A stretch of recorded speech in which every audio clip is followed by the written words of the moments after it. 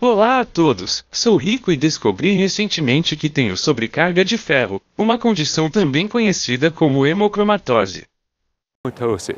Então, neste vídeo, quero compartilhar minha história sobre o que levou ao meu diagnóstico, o que aprendi sobre sobrecarga de ferro depois que soube que tinha e como está indo meu tratamento até agora, que envolve plebotomias semanais. Não soa bem, é difícil de pronunciar, e deixe-me dizer, é ainda mais difícil de passar. Na verdade, não é tão difícil.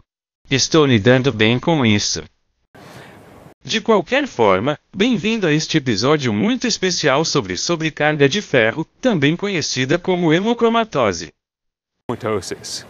Então, tudo isso começou há meio ano com o meu check-up médico anual. Você vê, por lei, as empresas japonesas são obrigadas a oferecer exames médicos gratuitos para seus funcionários uma vez por ano. Então eu entrei, peguei meus resultados de volta, pensando que vou passar com louvor porque vivo como um estilo de vida saudável estereotipado.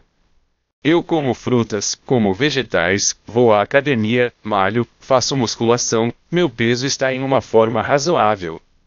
Mas recebi meus resultados e tirei um F ou algo assim. Eu disse que minhas enzimas hepáticas estavam muito altas.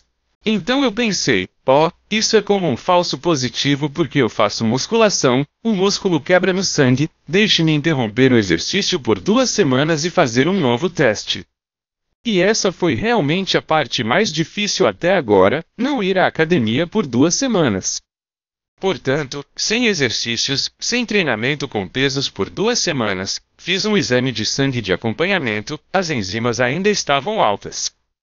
Então eu conversei com minha médica e ela disse: Você sabe, se você estiver tomando suplementos, eles podem ser prejudiciais ao seu fígado e então podem estar causando o aumento de suas enzimas. Então pensei que tudo bem, deixe-me cortar todos os meus suplementos, espere mais um mês, voltei, as enzimas hepáticas ainda altas. Então, minha clínica geral não sabe realmente o que está acontecendo, então ela me mandou para um hospital para ver um especialista em fígado. E então eu vi o especialista em fígado, conversei com ele, fiz um ultrassom do meu fígado, deu negativo, descobri que não tenho doença hepática gordurosa, e então fiz uma ressonância magnética junto com mais um bilhão de exames de sangue e então, finalmente, ele teve um palpite do que estava acontecendo de errado. Ele disse que tenho sobrecarga de ferro, o que significa que meu corpo está absorvendo muito ferro. No começo eu pensei que o ferro é a coisa boa que eu consigo do frango, eu consigo do veado, eu preciso ter certeza de que tenho o suficiente para abastecer meus treinos e outras coisas e construir músculos. Eu possuo ferro, é ótimo. É. E ele é como, sim, mas você tem muito disso. E para você ter uma ideia de quanto eu tenho, o ferro em sua corrente sanguínea em seu sistema é medido pelos níveis de ferritina, porque a ferritina é o que armazena o ferro para uso posterior. É... E eu verifiquei meus níveis de ferritina e você percebe que onde a faixa normal é de cerca de 10 na extremidade inferior até 100 e isso é talvez normal, certo? Os meus estavam em 600, quase 700, o que é muito alto. E se você chegar a mil, é como o ponto de ruptura, onde, se você for além disso, corre um risco muito maior de câncer e coisas realmente ruins. Porque o que acontece é que a ferritina acaba armazenando o ferro extra em seus órgãos, como o fígado ou o coração. Você sabe, lugares onde o ferro não deveria estar. E esse ferro vira fibra, que é uma fibrose, que leva a todo tipo de coisa nada legal, né? Então eu disse, tudo bem, doutor. O que você recomenda que eu faça? Ele é como: Bem, eu quero ter certeza de que isso é o que realmente está acontecendo. Quero fazer uma biópsia do fígado. Não se preocupe. É fácil. Nós apenas pegamos esta agulha bem fina e espetamos em você e retiramos um pedaço do seu fígado. Sem problemas. Você vai passar a noite aqui. Volte, sabe, no dia seguinte, não se preocupe. Eu estou tipo, sim, sim, há preocupações aqui. Ok, então suponha que seu palpite esteja correto. Então o que acontece? Você diz, ó, oh, vamos começar a tirar o seu sangue e vamos colocá-lo em algumas drogas. Tipo, ei, ei, ei, ei, ei, ei, ei, espere um segundo. Não quero entrar na faca. Eu não quero usar nenhuma droga. E o que quer que você esteja falando, como tirar sangue ou o que quer que seja, eu realmente não entendo o que você quer dizer.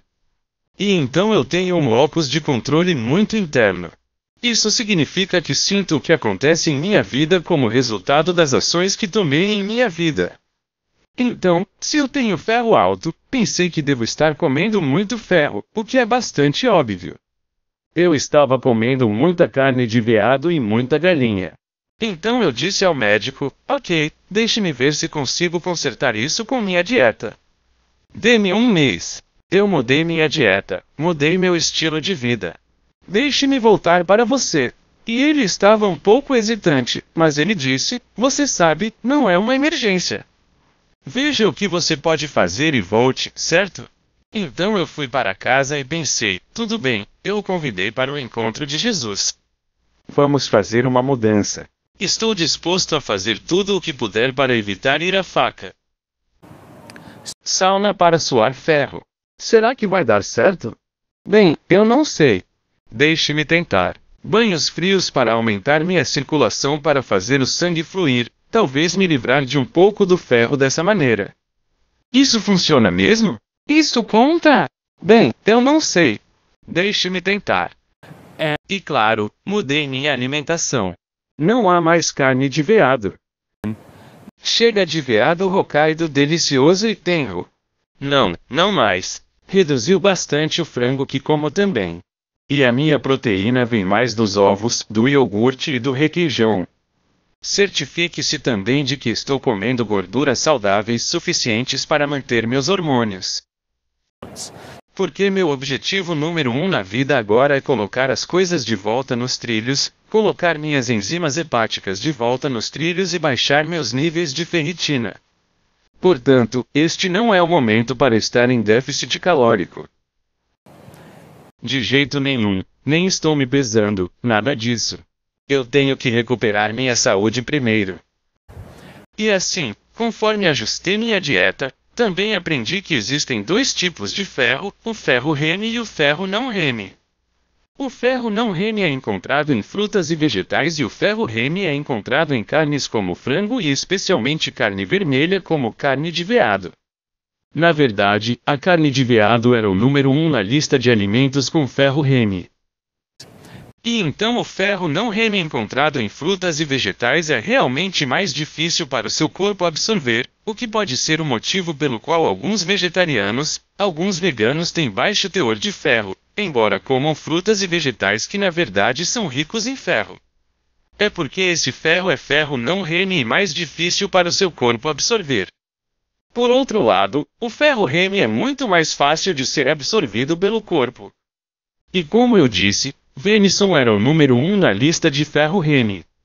Então cortei a carne de veado, reduzi a quantidade de frango que comia e ao mesmo tempo comecei a pesquisar a hemocromatose. Acontece que a hemocromatose hereditária onde você obtém um gene, ou você pode ter um gene que faz com que seu corpo não saiba quanto ferro está realmente absorvendo e você acaba absorvendo demais. Talvez devido à evolução houve um tempo em que isso poderia ter sido benéfico, como o tempo de fome. Mas agora não é tempo de fome, então não preciso do ferro extra. Mas meu corpo não sabe disso, então fica muito armazenado. É, e isso é hereditário, especialmente para caucasianos ou descendentes do norte da Europa. E meu pai realmente fez um exame de sangue e descobri que ele é um portador não afetado de hemocromatose. Portanto, há uma chance muito grande, não grande, talvez uma em uma ou o que quer que seja, mas há uma chance de eu ter herdado a hemocromatose do meu pai, embora ele não tenha sido afetado. Ao mesmo tempo que estou pesquisando sobre essa doença, acaba sendo plebotomia, sangria, ou como eu gosto de chamar, apenas sanguessuga, porque é muito mais fácil, sanguessuga, uma palavra, né? Onde eles tiram sangue e então seu corpo precisa usar o ferro armazenado para repor o sangue que você perdeu. E esse é o tratamento padrão para sobrecarga de ferro. E então eu estou tipo, ok, eu posso fazer isso sozinho. Então fui ao centro de doação de sangue da Cruz Vermelha em Udauacocho. Tchau. Acontece que eu tenho pressão arterial muito baixa. A primeira vez que verifiquei minha pressão arterial na máquina, o não o médico, acho que como assistente, viu isso. Colocam a manga, aperta e os números aparecem. Ele é como, isso deve ser um erro. Deixe-me tentar de novo. Ele tenta novamente. Pressão arterial ainda baixa. Ele é como, vamos fazer você ver o médico. Ele pode verificar não usando esta máquina, mas usando como um dispositivo manual, certo? Então eu vou ver o médico. Ele verifica minha pressão arterial, aumenta e pergunta: Você está bem? Não é tão difícil. Não é como Tsurai sua vida. Você não está cansado nem nada. Eu estou tipo, não, eu me sinto bem. Ele está tipo, sua pressão arterial está muito baixa. Tem certeza de que está bem? Não, eu estou bem. Mas eles não me deixaram doar. Minha pressão arterial estava muito baixa. Então eu estou tipo, ok, eu quero me livrar do sangue. Quero a sanguessuga e as plebotomias. Mas, deixe-me voltar ao especialista em fígado, mas desta vez com meu cartão gratuito de biópsia. Eu imprimi os resultados do laboratório que meu pai obteve, que mostraram que ele era um portador não afetado ou provavelmente não afetado de hemocromatose. Mostrou que o especialista em fígado disse que ele está bem. Então, agora que você tem isso, podemos pular a biópsia e ir direto para a flebotomia. Ótimo! Inscreva-me certo e então meu especialista em fígado também estava preocupado com minha pressão arterial baixa. Então começamos com 200 ml de sangue.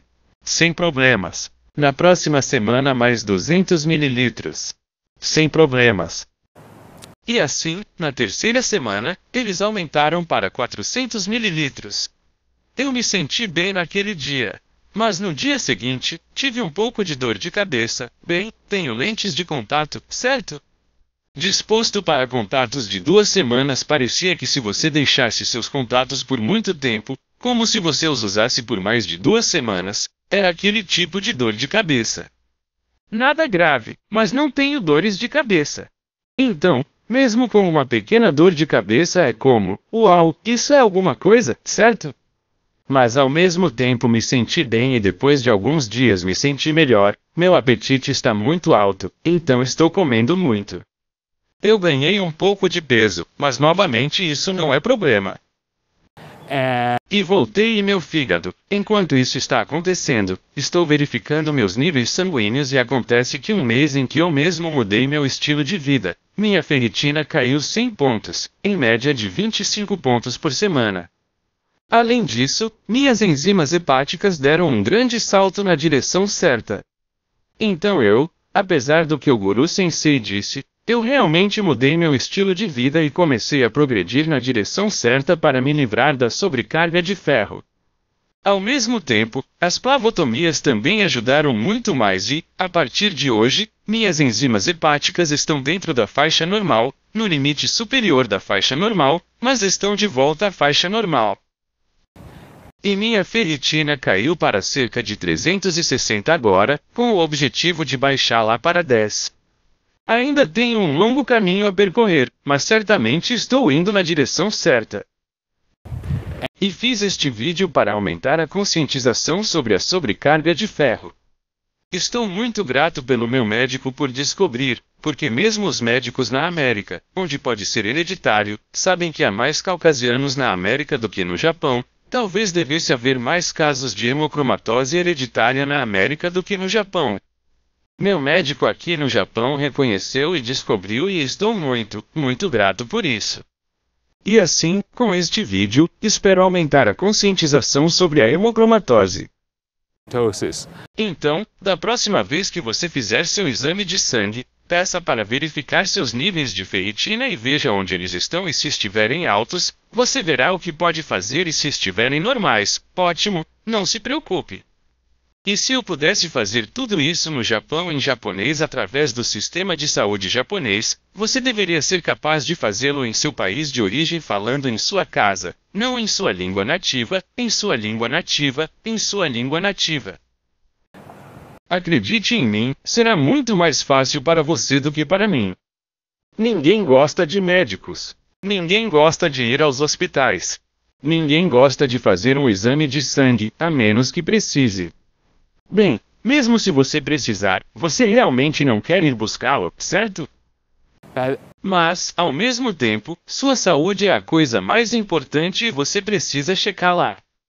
E se eu pudesse fazer tudo isso no Japão, em japonês, você mesmo pode fazer. Então é isso. E isso é novamente, esta é apenas a minha história. Não tome nada que eu fiz além de fazer o exame de sangue. Entendeu?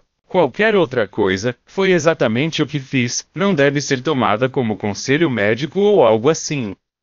Se você ouvir um cara aleatório do YouTube para obter conselhos médicos sobre sobrecarga de ferro, você é louco. Vá ao seu médico e confira. Ao mesmo tempo, se eu puder aumentar a conscientização e mais pessoas souberem sobre essa condição e talvez alguém seja examinado e descubra, ó, oh, eu realmente tenho isso. E então eles comecem a tomar as medidas necessárias para melhorar a condição. Comece a ir para os tratamentos ou o que quer que seja. E isso seria, você sabe, incrível e incrível. De qualquer forma, obrigado por assistir. Vou mantê-lo atualizado sobre como está minha recuperação e meu progresso. É... E vejo vocês na próxima. Mantenham-se saudáveis, meus amigos.